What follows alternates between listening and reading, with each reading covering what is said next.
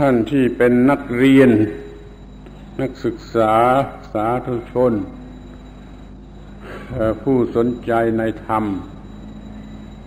ทั้งหลายก่อนอื่นทั้งหมด มันจะมาขอแสดงความยินดี ในการมาของท่านทั้งหลาย สู่สถานที่นี้ในลักษณะอย่างนี้ คือเพื่อการศึกษา ที่นี่เราจัดเพื่อประโยชน์แก่การศึกษา โดยเฉพาะอย่างยิ่งก็ศึกษาธรรมะแม้ว่าท่านทั้งหลายจะเป็นนักเรียน เกี่ยวกับการทหาร ก็ยังมีส่วนที่ต้องศึกษา ธรรมะด้วยเหมือนกัน เพื่อว่าจะได้ดำรงจิตใจไว้ ให้ถูกต้องคือเป็นธรรมะ และสิ่งต่าง ๆก็จะเป็นไปด้วยดี มีอุดมคติ ชนิดที่ทำให้รู้สึกพอใจภาคภูมิใจ ในตัวเองอยู่เสมอ ก็จะทำหน้าที่ได้ดีคำว่าทหาร ไม่ได้เป็นเพียงคนหนุ่ม ผู้ถืออาวุธ แต่เป็นผู้มีหน้าที่ต่อต้าน ความไม่เป็นธรรมทำลายสิ่งที่ผิด ลาด แม้จะทำคนตายลงไปบ้าง ก็ไม่เป็นการฆ่าคนคำว่าการรบที่ถูกต้องนั้นไม่ใช่เป็นการฆ่ากันเพื่อช่วงชิงทรัพย์สมบัติหรืออะไรทำนองนั้น แต่ต้องเป็นการพิทักษ์รักษาความเป็นธรรม หรืออย่างน้อยที่สุดก็ต้องเพื่อป้องกันตนเอง เดี๋ยวนี้เราก็รู้ความหมายอันนี้ไม่ใช่ผู้ฆ่าคนด้วยเจตนาฆ่า แต่ทำหน้าที่ตามหน้าที่ที่ควรจะทำที่เป็นธรรมที่ยุติธรรม มันก็เลยเป็นคนเรื่องกับการฆ่าคน ดังนั้นทหารไม่ใช่ผู้ฆ่าคนแม้จะได้ทำคนตายไปบ้าง โดยตรงหรือโดยอ้อมก็ตามการรบพุ่งนั่น มันมีความหมายเพื่อชนะความชั่วทั้งนั้นแหละเว้นไว้แต่มันมีประเทศอันธพาลที่มันเจียวรบรา เบียดเบียนช่วงจริงผู้อื่น ถ้าเป็นไปอย่างถูกต้อง ตามนิติธรรมโบรมโบราณแล้วการรบนั้นมันเป็นการกระทำเพื่อรักษาความเป็นธรรมความถูกต้องแม้ที่สุดแต่ป้องกันตัวเอง แม้ในตัวเรา ก็มีการรบพุ่ง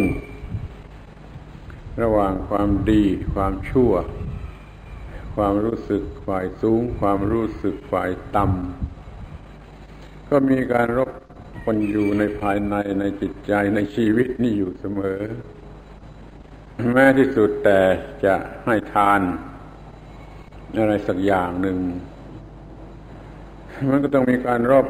กันระหว่างความไม่อยากให้กับความอยากจะให้ โดยตรงก็คือ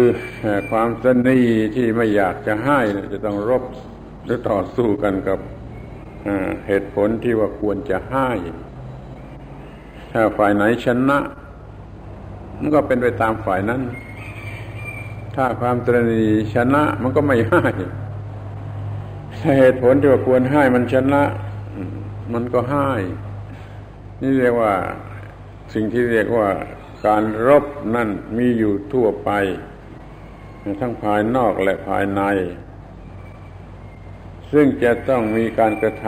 ำที่ถูกต้องหรือดีที่สุด แม้ท่านทั้งหลาย ที่จะเป็นนักรบโดยตรงหรือโดยอ้อม มันก็เหมือนกันมันมีส่วนแห่งการรบ ไม่มีเจตนาที่จะฆ่าผู้อื่น มีเจตนาในการรักษาความถูกต้องความเป็นธรรมหรือการป้องกันตัวเอง แล้วก็ทำหน้าที่ของตน จะทำหน้าที่นี้ได้ดี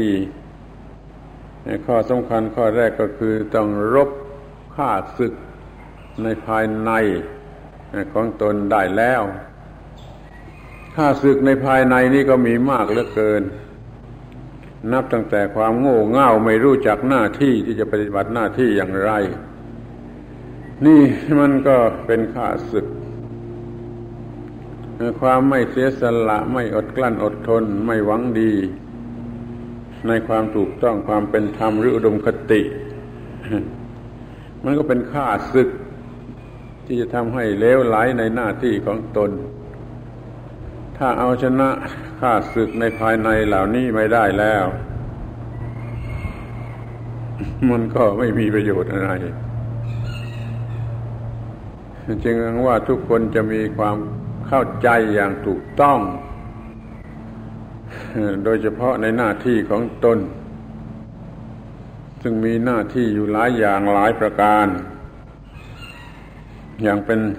ทหารหรือสงเคราะห์อยู่ในพวกทหาร หรือว่าเป็นมนุษย์ธรรมดาอีกด้านหนึ่งก็เป็นพลเมืองของประเทศชาติ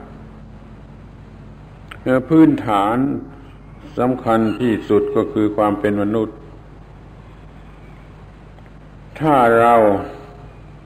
มีความเป็นมนุษย์ที่ถูกต้องเป็นพื้นฐานแล้ว จะไปเป็นอะไรก็ดีหมด จะไปเป็น ข้าราชการทหารข้าราชการพลเรือนหรือ หน้าที่ใด ๆก็ตามล่ะ มันจะดีหมด ถ้ามันมีความเป็นมนุษย์ที่ถูกต้อง คือความรู้สึกผิดชอบชั่วดีฉันขอให้ทุกคนจัดการกับตัวเอง ที่เป็นภายในให้มีความถูกต้อง ให้เป็นมนุษย์ที่มีความหมายอย่างมนุษย์ คือมีจิตใจสูง หินดีที่จะรับภาระหน้าที่ที่สูงขึ้นไปโดยความถูกต้องความยุติธรรม เรามีความหมายของคำว่ามนุษย์นี่ว่าผู้มีจิตใจสูง มนุษย์มนุษย์ แปลว่าผู้มีจิตใจสูง ถ้ามันสูงจริง มันก็อยู่เนื้อการกระทำที่ผิดพลาดเลวไหลหรืองมงาย กลับแต่แต่มีความรู้ความเข้าใจในหน้าที่ หรือในอุดมคติของหน้าที่ของตนของตน และรู้จักรับผิดชอบในหน้าที่ มีการรับผิดชอบเต็มที่ในหน้าที่ ในฐานะที่เป็นมนุษย์คนหนึ่ง ก็ทำหน้าที่ของมนุษย์ อย่างถูกต้อง ในฐานะที่เป็นพลเมืองคนหนึ่งของประเทศชาติ ก็ทำหน้าที่พลเมืองที่ดี ในฐานะที่เป็นทหารโดยตรงหรือผู้ช่วยทหารโดยอ้อม มันก็จะต้องรับผิดชอบในหน้าที่ นี่เรียกว่ามีความเป็นมนุษย์ ในส่วนที่มีจิตใจสูง รู้จักว่าควรจะทำอะไร แล้วก็ทำอย่างดีที่สุด เมื่อยังไม่รู้ ก็พยายามศึกษาฝึกฝนจนรู้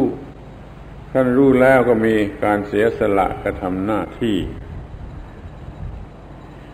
นี่เรียกว่า มีความถูกต้องแห่งความเป็นมนุษย์และหน้าที่บางอย่างบางประการที่ได้รับการมอบหมาย เพราะความเป็นมนุษย์มีมนุษยธรรม อย่างนี้มันมีผล มหาศาลกว้างใหญ่ไพศาลแม้การสงครามถ้าทำไปอย่างถูกต้องโดยธรรม มันก็เป็นประโยชน์กันทั่วโลก ทั่วโลก ถ้ามันทำด้วยกิเลสด้วยอคติด้วยความไม่เป็นธรรม มันก็เดือดร้อนกันไปทั่วโลกด้วยเหมือนกัน เพราะฉะนั้นเราถือหลักมนุษยธรรม มุ่งกระทำแต่หน้าที่ ที่เป็นประโยชน์แก่มนุษย์ โดยบริสุทธิ์ ถูกต้อง มีเจตนาที่บริสุทธิ์และถูกต้อง ยินดีที่จะเสียสละ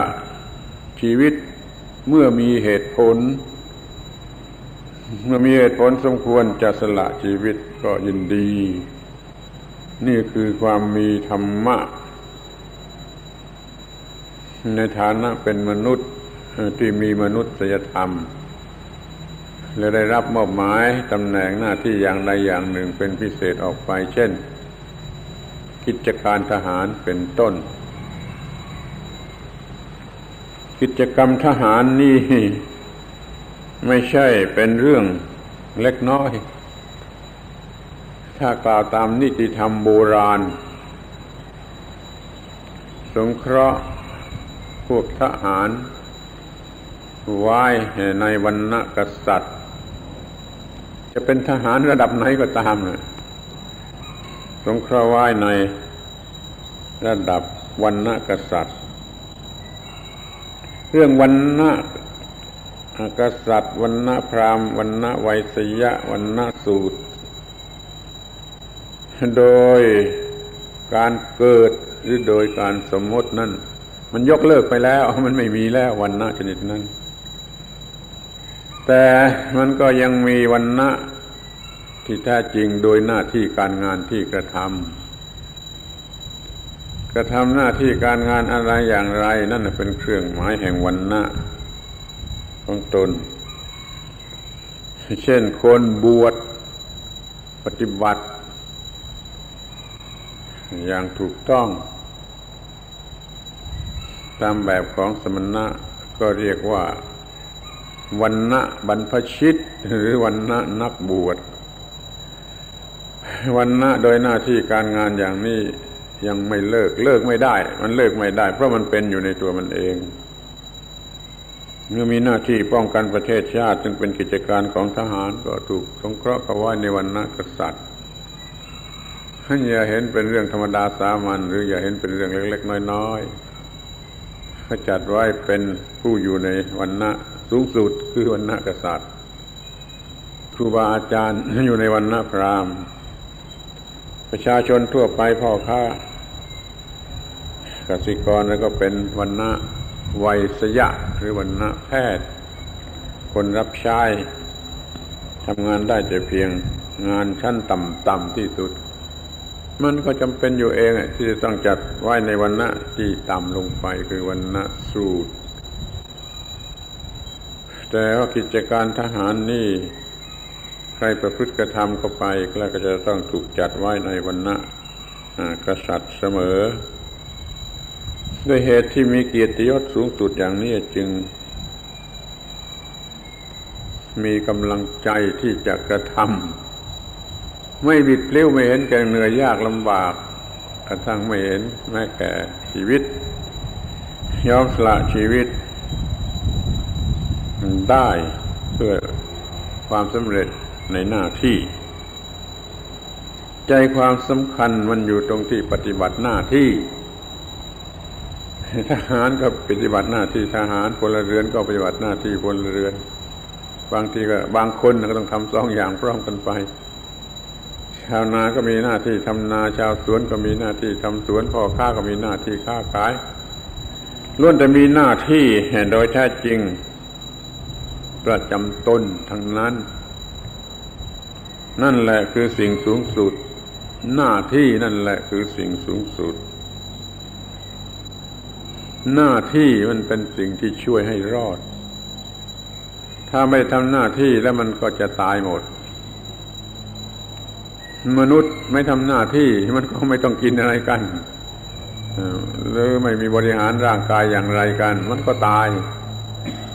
สัตว์เดรัจฉานไม่ทำหน้าที่หากิน อย่างสัตว์เดรัจฉานมันก็ตายต้นไม้ต้นไม้เหล่านี้ถ้าไม่ทำหน้าที่ถูกต้องอย่างต้นไม้ก็ ก็ตายไม่ไม่มีปัญหาอะไร แล้วน่าจะสนใจหรือเอาอย่าง ชีวิตระดับระดับต่ำสุดคือต้นไม้ต้นไม้เหล่านี้เป็นชีวิตระดับต่ำสุด มันทำหน้าที่ของมัน ถูกต้องมันคงคงเส้นคงวาเหลือเกินตามที่เชื่อกันในวิชา ชีวพฤกษศาสตร์นี่ มนุษย์ เอ้ยต้นไม้นี่ทำงานทั้งกลางวันกลางคืน เขาเชื่อกันว่ากลางวันนี่อย่างนี้คายแก๊สออกซิเจนอยู่ตลอดวัน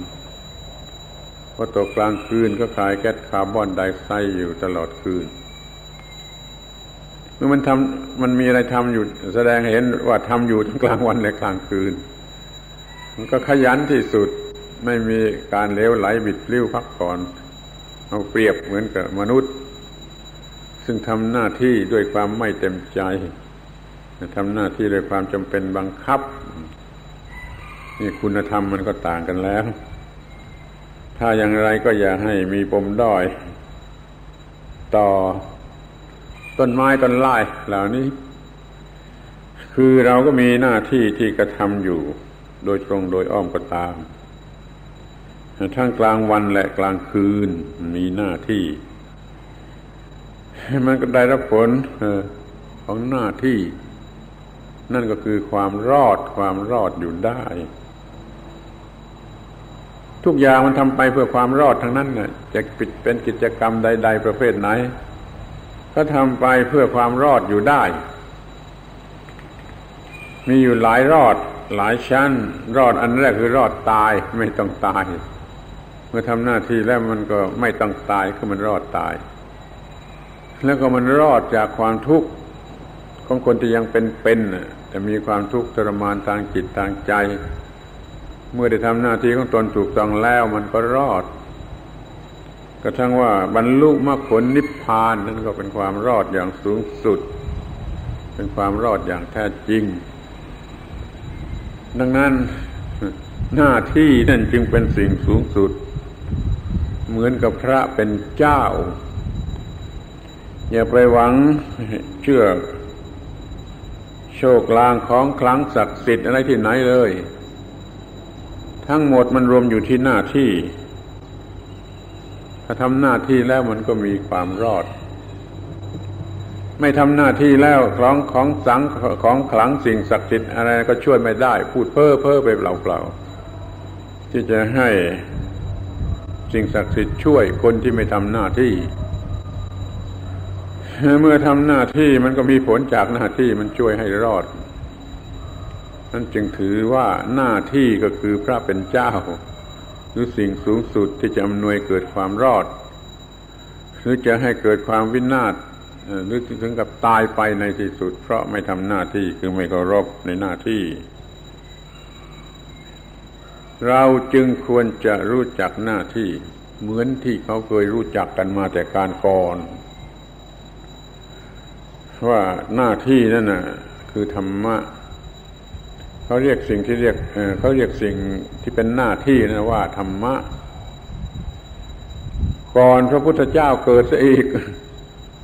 เมื่อพระพุทธเจ้ายังไม่มีขึ้นมาในโลกก็ก็มีคำว่าธรรมะใช้หมายความมนุษย์ยุคแรกยุคดึกดำบรรแรกเจริญขึ้นมา ด้วยสติปัญญา พอสมควรยังไม่ไกลจากคนป่าเท่าไรนัก เขาก็รู้จักสิ่งที่เรียกว่าหน้าที่แต่สังเกตเห็นสิ่งที่เรียกว่าหน้าที่มีอยู่แล้วก็จำเป็นที่ทุกคนจะต้องทำจะช่วยได้ ทีนี้เขาเรียกตามภาษาของคนเหล่านั้นในสมัยนั้นว่าธรรมะคือธรรมในภาษาไทย อยู่ที่ไหนก็ต้องพูดในภาษานั้นภาษาอุดึกดำบรรโบราณในอินเดียก็ คำว่าธรรมะก็แปลว่าหน้าที่ แล้วเขาก็แปลคำว่าธรรมะว่าหน้าที่ อยู่จนกระทั่งบัดนี้ ในบ้านเราครูสอนเด็กๆเล็ก ๆ ว่าธรรมะ แปลว่าคำสั่งสอนของพระพุทธเจ้านั่นมันไม่ถูกมันถูกนิดเดียว มันต้องรู้ว่าพระพุทธเจ้าสอนก็สอนเรื่องหน้าที่ของมนุษย์ที่มนุษย์จะต้องทำ ถ้าพูดแต่ว่าคำสั่งสอนของพระพุทธเจ้า แล้วก็ไม่รู้ว่าสั่งสอนอะไรอย่างไร นี่มันก็ไม่มีประโยชน์อะไรนั้นคำสั่งสอนของพระพุทธเจ้าจึงแน่นอน ชัดเจนลงไปว่าสอนเรื่องหน้าที่ที่ทุกคนจะต้องกระทำให้ครบให้รอบด้าน หน้าที่ข้างหน้า ต่อบิดามารดา ก็ทำอย่างถูกต้องที่สุด หน้าที่ข้างหลังต่อบุตรภรรยา ก็ทำหน้าที่ถูกต้องที่สุด หน้าที่ข้างขวา ต่อครูบาอาจารย์ก็ทำดีที่สุด หน้าที่ข้างซ้ายคือมิตรสหาย ก็ปฏิบัติต่อด้วยอย่างดีที่สุด หน้าที่ข้างบนคือสมณะพราหมณ์ผู้มีคุณธรรมสูง ก็ปฏิบัติต่อด้วยอย่างดีที่สุด หน้าที่ชั้นล่างชั้นต่ำคือคนใต้บังคับบัญชากระทั่งคนใช้กรรมกรอะไรก็ตาม ก็ต้องปฏิบัติ ต่อเขาอย่างถูกต้องที่สุด เรียกว่าหกทิศทางนี่มีหน้าที่ทั้งนั้น แล้วก็ปฏิบัติอย่างถูกต้องทุกทิศทุกทาง เรียกว่าไม่บกพร่องในหน้าที่ แล้วก็กล่าวได้ว่านั่นแหละคือผู้มีธรรมะ ผู้มีธรรมะ ถ้ายังไม่ทราบก็ทราบเดี๋ยวนี้ว่าคำว่าธรรมะ โดยแท้แท้จริงนั้นแปลว่าหน้าที่ มีการทำหน้าที่ที่ไหนก็มีธรรมะที่นั่นทำหน้าที่ในกองทัพมันก็มีธรรมะในกองทัพทำหน้าที่ในทุ่งนาก็ปฏิก็เป็นการปฏิบัติธรรมะกลางทุ่งนาอย่างว่า ชาวนาไถนาอยู่นั่นแหะคือเขาปฏิบัติธรรมะของชาวนา แล้วก็จะรอดด้วยธรรมะของชาวนาสำหรับชาวนา จะทำสวนจะค้าขายจะทำราชการ หรือจะเป็นกรรมกรอย่างถูกต้องอยู่ก็เขาปฏิบัติธรรมะของกรรมกร แม้ที่สุดแต่เขาจะนั่งขอทานอยู่ มันก็เป็นการปฏิบัติธรรมะ สำหรับคนขอทาน ถ้าเขาปฏิบัติไปอย่างดี ไม่เท่าไรก็จะพ้นสภาพคนขอทานออกไปได้ นี่ธรรมะหรือหน้าที่มันจะช่วยถึงขนาดนี้เราจึงถือธรรมะเป็นสิ่งสูงสุดคือสิ่งที่จะช่วยให้รอด และจะต้องทำให้เป็นที่สนุกสนาน ทำหน้าที่ด้วยความเคารพด้วยความพอใจอย่างสนุกสนาน เดี๋ยวนี้คนมันไม่มีความรู้สึกอย่างนี้ ถ้ามีความรู้สึกว่าหน้าที่คือสิ่งสูงสุด การงานคือสิ่งสูงสุดกูจะช่วยให้รอดแล้วก็จะเคารพการงานอย่างเข้ามาในห้องทำงานก็พนมมือให้โต๊ะทำงานนั่นแหละ เพื่อแรงความเคารพเพื่อเรียกมาซึ่งสติสัมปชัญญะและทำงานดีที่สุด ถ้าเป็นชาวนาเอาวัว เอาควาย เอาไถมาถึงนาแล้วก็ไหว้ไถไหว้วัวไหว้ควายเช่สักครั้งหนึ่งเพื่อรู้จักคุณค่าของมันเคารพคุณค่าของมันแล้วก็จะทำด้วยความพอใจเป็นสุข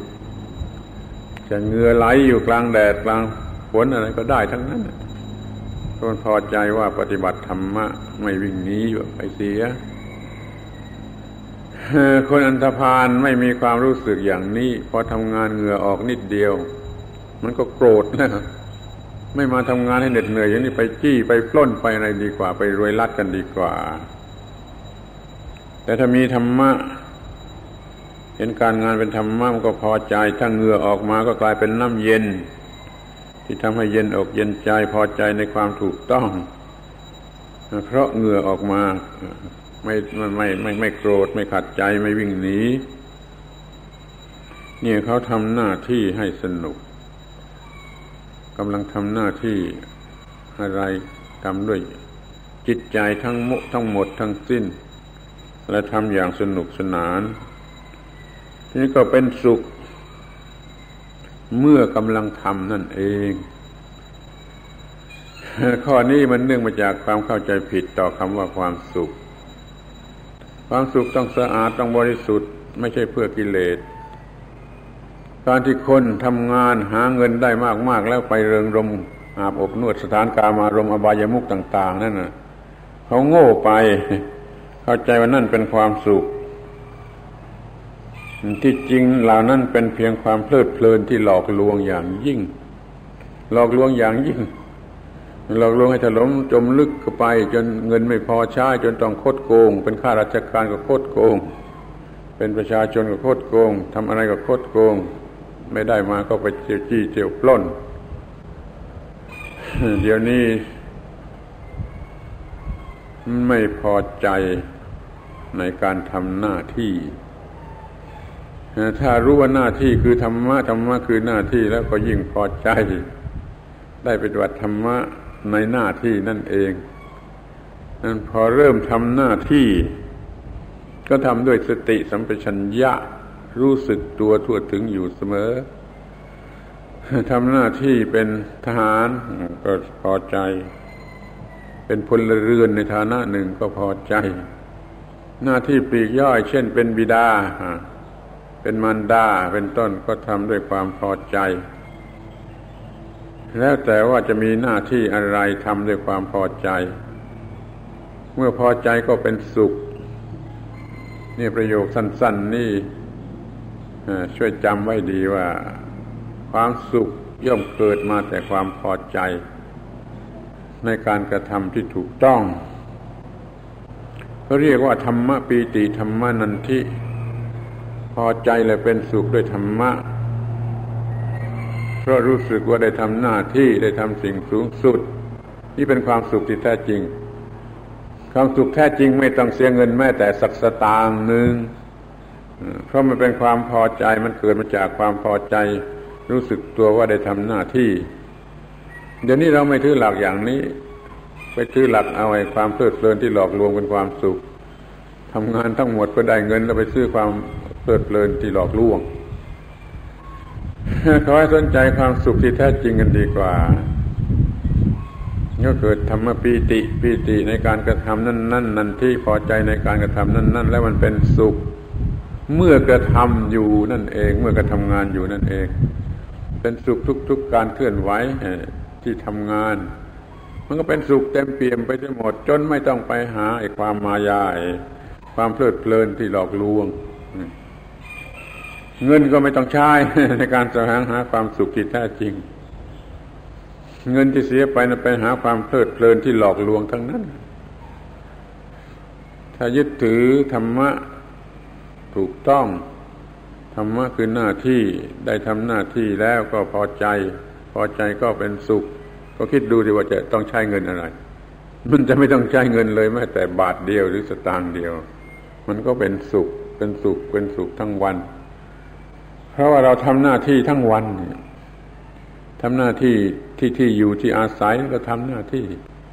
แม้แต่หน้าที่บริหารร่างกายนี่ก็ทำอย่างพอใจเลยเป็นสุข จะกินข้าวจะอาบน้ำจะถ่ายจาระจะถ่ายภาษาวะก็ทำด้วยสติสัมปชัญญะและพอใจ มันก็มีความสุขเสียตั้งแต่เบื้องต้นอย่างนี้แล้ว มันไม่หิวความสุขอะไรที่ไหนอีก เมื่อไปทำงานที่ออฟฟิศหรือที่หน้าที่ทำงาน มันก็พอใจ มันก็เป็นสุขอีก เสร็จงานกลับไปที่พักที่บ้านอาพักอาศัยก็พอใจแล้วเป็นสุขไม่จะทำงานอยู่ที่บ้าน เล็กๆน้อยๆเช่นว่าจะช่วยแม่ครัวล้างจานล้างชามบ้างก็พอใจแหละเป็นสุขนี่คือผู้มีธรรมะที่แท้จริงที่เราจงสำนึกถึงหน้าที่ที่ว่ามีอยู่อย่างไร แล้วก็กระทำหน้าที่นั้น ๆ ด้วยความพอใจอย่างยิ่ง อย่าไปหลงเอาไอ้ความเพลิดเพลินที่หลอกลวงมาเป็นความสุข จนกระทั่งว่าเดี๋ยวนี้แต่ละคนละคนก็ไปหลงหลงเข้าใจผิด เอาความเพลิดเพลินที่หลอกลวงเป็นความสุข มันไม่ได้ ราะเงินไม่พอ มันก็ต้องทำทุจริตคดโกงหรือว่าอาชญากรรม ส่วนใหญ่นั่นมันเพราะไม่ได้ ความเพลิดเพลินที่หลอกลวงตามพอใจ ก็ต้องใช้วิธีปล้นจี้ นี่คือผู้ที่ไม่รู้จักหน้าที่ว่าคือธรรมะธรรมะคือหน้าที่ ขอให้ท่านทั้งหลายทุกคนใครควรดูไว้ดี พิจารณาตามหลักที่ท่านได้กล่าวไว้แล้วอย่างไรว่าธรรมะคือหน้าที่หน้าที่คือธรรมะ เมื่อใดปฏิบัติหน้าที่เมื่อนั้นคือปฏิบัติธรรมะแม้ปฏิบัติหน้าที่การรบอยู่ในสนามรบ ก็ยังเชื่อปฏิบัติธรรมะ เพราะว่าทหารที่ดีทหารที่ถูกต้องนั้นไม่มีอุดมคติในการฆ่าคน ไม่ได้คิดจะฆ่าคน คิดแต่จะพิทักษ์รักษาความเป็นธรรมความยุติธรรมหรือป้องกันตัวเอง เจตนาฆ่าคนไม่ได้มี มันก็เรียกว่าเป็นหน้าที่ที่ให้ความพอใจแหละเป็นสุขได้เหมือนกันไม่จะต้องตายลงก็ตายด้วยความเป็นสุขพอใจว่าได้ทำหน้าที่ ปัญหามันก็ไม่มีนี่เรียกว่ามันดีหรือเป็นสุขอยู่ตลอดเวลา ขอให้จัดให้จัดตัวเอง ให้มีความรู้สึกสติสัมปชัญญะว่าหน้าที่อะไรบ้างทำดีแล้วทำดีแล้วตลอดเวลาเลยพอตื่นนอนขึ้นมาก็เอาดีแล้วถูกต้องแล้วนี่มันรอดชีวิตมา เป็นที่พอใจนะจึงจะไปเข้าห้องน้ำตลอดเวลาที่ ทำผิดในห้องน้ำก็มีสติสมัญญาพอใจในการทำหน้าที่ อย่าทำอย่างที่หวัดหวัดหรือไม่ไม่เต็มใจทำอย่างคนทั่วไป การถ่ายจาระการถ่ายปัสสาวะ ไม่ได้ทำให้ดีที่สุดถูกต้องที่สุด ไม่มีสติสัมปชัญญะในการกระทำอย่างนี้มันผิดหลักพุทธศาสนามากพระพุทธเจ้าทรงสั่งสอนให้มีสติสัมปชัญญะ ในทุกๆอิยาบท และระบุการถ่ายจาระ การถ่ายภาษาวะด้วยก็ทำให้อย่างดีที่สุด มีความพอใจอยู่ตลอดเวลา ไม่เหมือนคนโง่ มันไม่มันไม่อยากจะเสียเวลาในการถ่ายจาระมันก็ถ่ายหยาบหยาบลวกลวกจนเกิดโทษเกิดเป็นโรคบางอย่างขึ้นมา เกี่ยวกับการถ่ายจาระอย่างหยาบหยาบอย่างเร็วๆอย่างลวกลวก นี่แหละมันต่ำที่สุดแล้วที่ว่ามันเป็นหน้าที่ที่ทำให้ถูกต้อง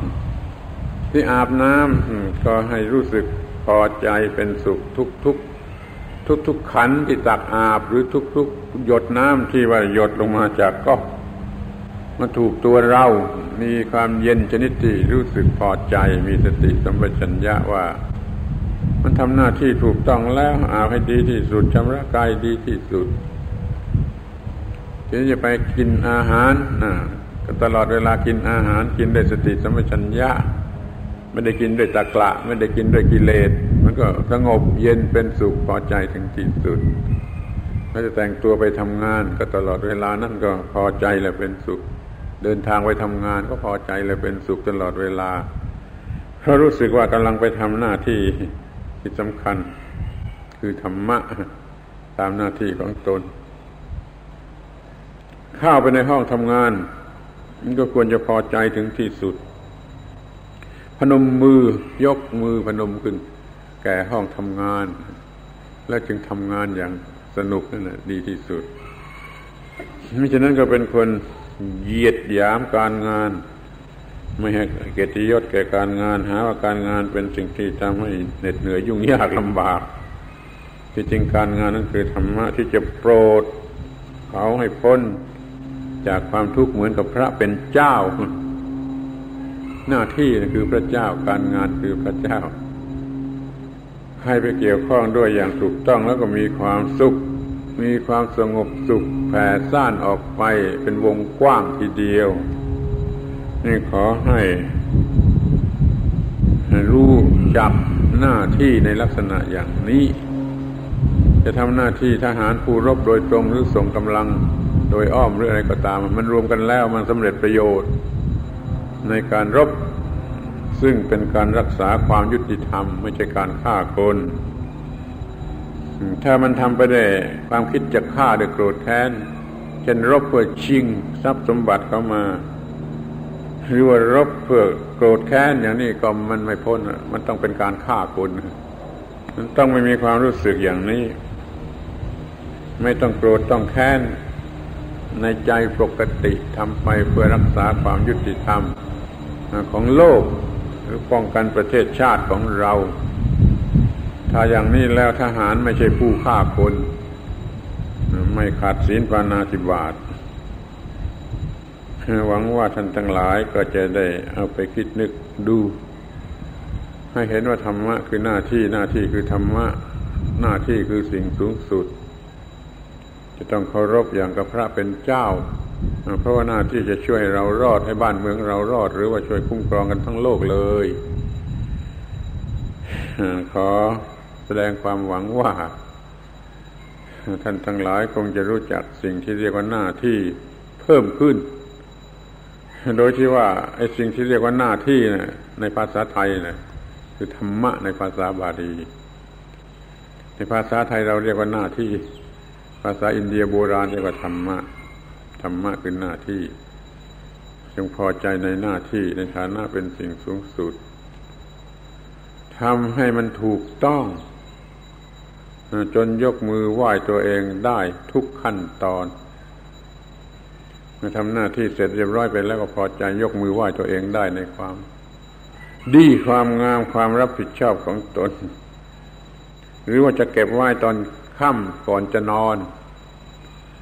ก็นึกดูถึงความถูกต้องในหน้าที่ที่ได้ทำมาแล้วตลอดวัน แล้วมองเห็นแต่ความถูกต้องในหน้าที่ก็ยกมือไหว้ตัวเองได้ นั่นคือสวรรค์ที่แท้จริง สวรรค์ที่แท้จริงคือความชื่นใจ เมื่อยกมือไหว้ตัวเองได้ ในสวรรค์บนฟ้าต่อตายแล้วจึงจะถึงนั้นไม่แน่นอน ไม่แน่นอนเท่ากับว่า ทำความดีจนพอใจจนยกมือไหว้ตัวเองได้ แล้วนี่เป็นสวรรค์แท้จริงที่นี่และเดี๋ยวนี้ นรกก็เหมือนกันเมื่อมันผิดรู้รู้รู้จักแต่ความเลวไหลความบกพร่องของตน จนเกลียดชังตัวเอง ตัวเองเกลียดชังตัวเองคิดดูนั่นคือนรก คือนรกที่แท้จริง ที่นี่และเดี๋ยวนี้ นรกใต้ดินจะถึงจะตายแล้วนั้นก็ไม่แน่นอนยังไม่แน่นอน ไม่แน่นอนถ้าก็ว่าทำผิดจนเกลียดชังตัวเองนั่นหมายว่าท่านทั้งหลายจะเคารพหน้าที่ ซึ่งรวมทั้งการเคารพตัวเอง ปฏิบัติหน้าที่ของตน ได้รับผลจากการปฏิบัติหน้าที่ มีความสุขอยู่ทุกกระเบียดนิ้วทุกวินาทีทุกทุกอิยาบท ตลอดทุกทิพาราตรีการเทิน อยุติการบรรยาย